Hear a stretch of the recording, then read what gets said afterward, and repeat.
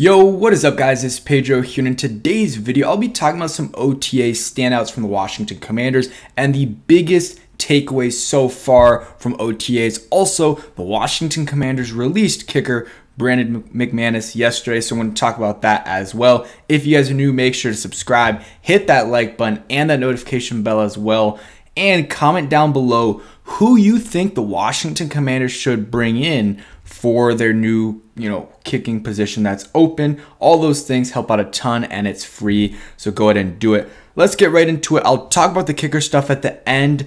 Uh, didn't make a video about it yesterday because I was at a concert, 21 Savage concert, and the news came out right when I was there, so I wasn't able to do it. So decided to put it in this video. We're gonna talk about that, of course. There's, we're never able to get a you know kicker here for a long time. That's good. So we're gonna have to figure out something there, and hopefully soon. And I'm glad they got ahead of it, so we're not you know left looking for a kicker in August. But let's talk about OTAs. Uh, we've heard some really good things from Jayden Daniels. Uh, you know he has been making some really good throws. He has. They were saying not a lot of passes have hit the dirt. Not a lot of incompletions. There's been a lot of zip on the passes, and he's been working very, very hard. He's been one of the first ones uh, in there every day, which is good. Uh, you know, uh, John Allen says he gets there at 6:45, and Jayden Daniels is always there before him. So good to see that. And let's see. Uh, we'll, I'll show you guys a clip right here. Him throwing to uh, Jahan Dotson.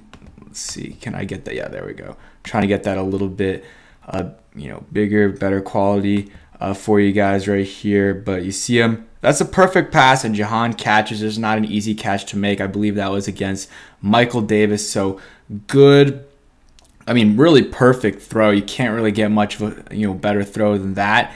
And then also a good uh, catch by Jahan, and then the corner or someone in the comments was like that would be intercepted against a good defense that corner blew the play the thing is you always have to you know react to how the corner is playing.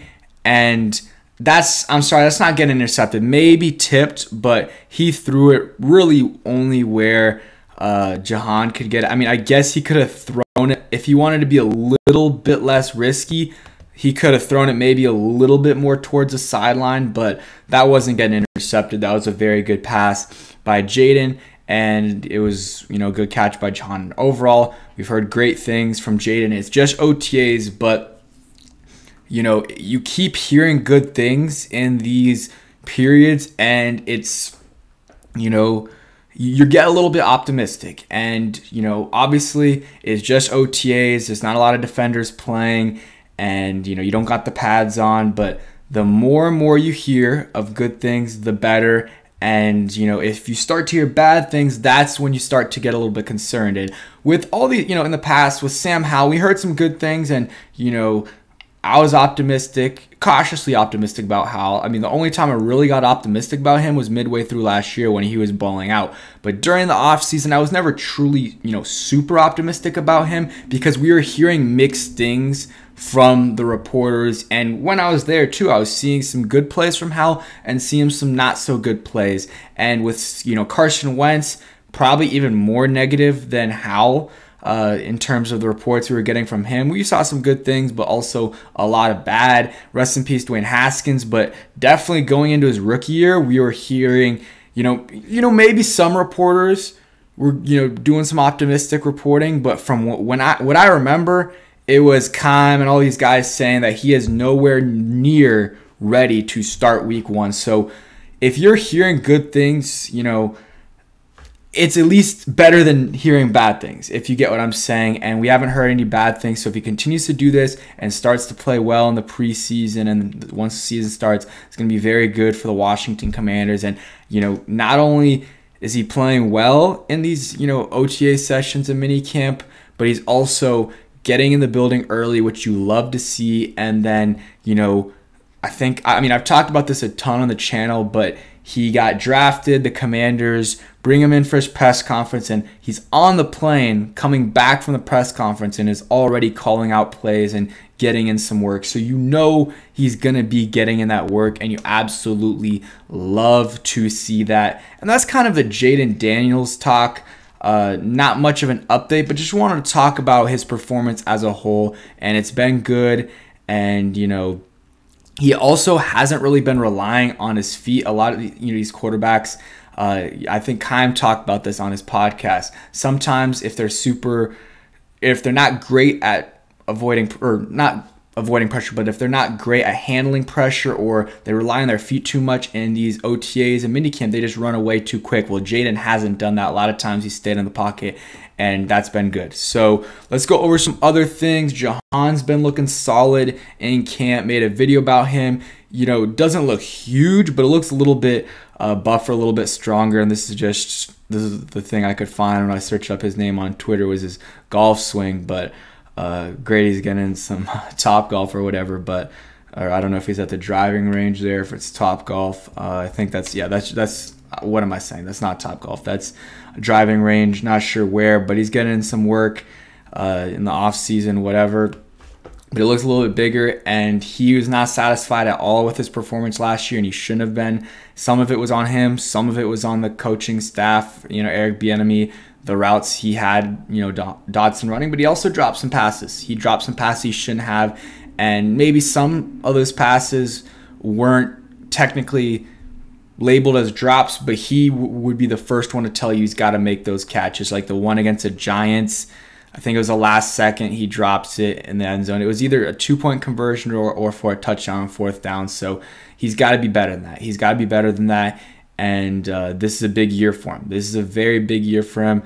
Made a video talking about how this is a make or break year for Jahan, and someone commented, and I agree. They said it's a make or break year for a lot, basically all the Rivera players. And I, yeah, I agree with that. Maybe some are safe, like Sam Cosmi's safe, and you know John Allen. He's not a Rivera player, obviously. He's a pre-Rivera era player, but you know he's safe. Those guys, but in terms of the Rivera players, yeah, not many guys are safe. Probably just Sam Cosmi and, you know, maybe a couple other guys, but like Brian Robinson, he's solid for sure, but he's not necessarily 100% safe. Like he is what this is going to be his third year. He's you know has four years on the contract total, so he'll have one more year after this year. So he's not completely safe. I mean, I don't think they're gonna you know move on from him, but I'm just saying like uh, there's not a lot of guys that are completely safe, and I would just say Sam Cosmi is that one guy that they probably are really feeling like, okay, this guy is going to be a part of our future. But Forbes,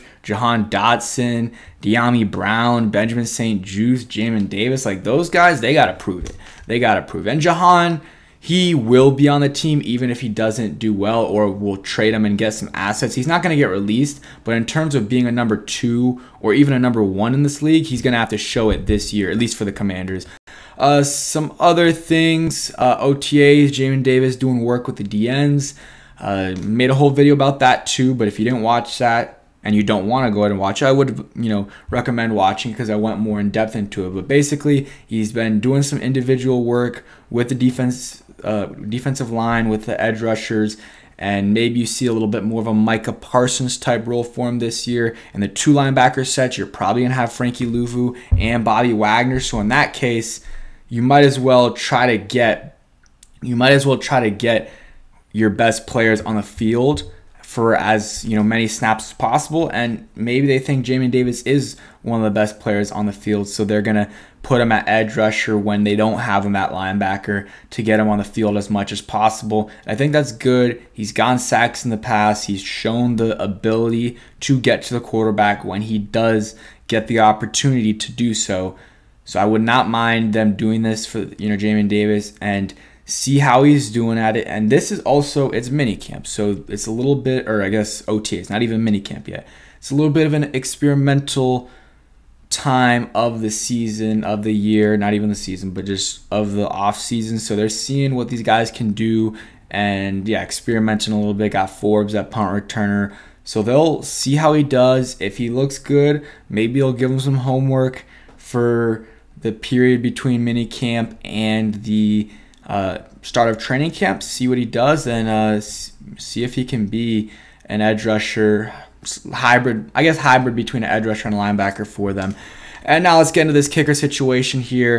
So Brandon Brandon McManus, who the Washington Commanders signed this offseason, he had the allegations against him. Uh, you know, I can't say exact. You know, I can't say what it is without getting demonetized. I believe, at least uh, from the YouTube guidelines, but he's being accused of some not great stuff with a couple women, I believe, on an air aircraft going from uh, somewhere to it might have been Jacksonville to London. So the commanders decide to get ahead of it, which, you know, if they believe he's guilty, he should obviously not be on the team. And you don't want to be in the situation, like I said earlier in the video, where it's August and it comes out that these things are true or it gets resolved and these things are true and the league suspends them for the full year and you have to release them or you just decide to release them anyways and the league doesn't suspend them and they decide to do that later well, now you're screwed because you have to find a kicker last minute and get them accustomed to the new long snapper, the new special teams coordinator, and Tress Way. So that is at least we got ahead of it, and the Commanders will hopefully bring in a new kicker soon. Randy Bullock is a guy that's available. Still, I don't know. He's not that good. You got the Bates guy. I think I've been hearing about him from the UFL there's some guys they'll be able to find. I would just say bring in some guys right now. I wouldn't mind keeping a couple spots for a kicker uh, on the roster because you know, yeah, keep two or three. I would have a competition, maybe not three, two. Keep two kickers, see how they're doing, uh, and try to get that competition going. And then once you get to, you know, the period before training camp, release one of them and have your kicker going into training camp, you know who it is, and they can get all those reps in that they need to. But it's not a great problem to have. And I was never really a big fan of the Brandon McManus signing because his stats, like, he was a pretty reliable kicker for a while, but, like, it's not like his stats were crazy good for the Jaguars this past season. And Joey Slye, like, I believe their stats were pretty comparable. And you have to consider Joey Slye had to deal with Cameron Cheeseman, who is one of the like I, I like the guy's cool, really nice guy, but he was a terrible long snapper this past season. I mean, at least this past season for the Commanders. And there's at least two kicks that were he missed 100% because of Cheeseman and probably a couple others that were affected by it as well that he missed. So his percentage was, you know, skewed in the wrong direction because of Cameron Cheeseman. So I think his stats really were better than what they showed. Or I guess you know he was better than what the stats show. That's what I meant to mean or say. So maybe they can bring back Joey Slye because he is familiar with Tress Way and some of the other special teams guys. Not the coordinator or not Tyler Ott, the you know long snapper, but he is familiar with Tress Way, and that is an important thing. But yeah, that's it for today's video. Hope you guys did enjoy. If you did, hit that like button, subscribe if you guys new, and comment down below Kai Forbath, if you stayed till the end of the video, OG kicker for the Commanders or for the Redskins 2012 and a couple years after that, I believe. But yeah, thanks for watching. Hope you guys enjoyed and peace.